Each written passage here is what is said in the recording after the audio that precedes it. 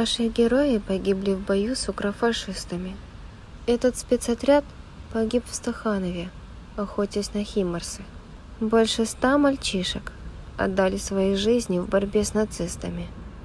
Кто-то умер сразу, а кто-то в больнице и в муках.